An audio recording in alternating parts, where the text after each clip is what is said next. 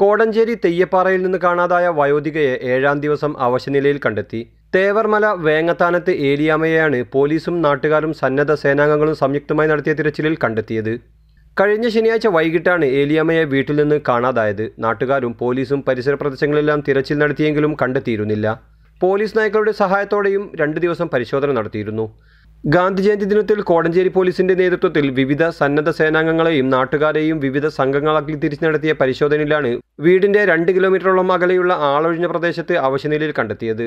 Rubber തോട്ടത്തിലെ പാറക്കെട്ടിൽ കിടക്കുന്ന നിലയിലാണ് സന്നദ്ധ സേനാംഗങ്ങൾ വയോധികയെ കണ്ടെത്തിയത്.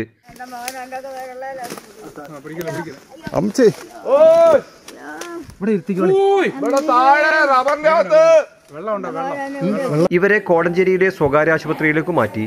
ആരോഗ്യനില തൃപ്തികരമാണ്. ആ ആ. ആ.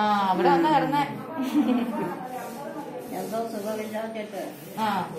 എന്തെങ്കിലും തോന്നുന്നുണ്ടോ? എന്തെങ്കിലും ബുദ്ധിമുട്ട് തോന്നുന്നുണ്ടോ? ബുദ്ധിമുട്ട് എന്തെങ്കിലും തോന്നുന്നുണ്ടോ?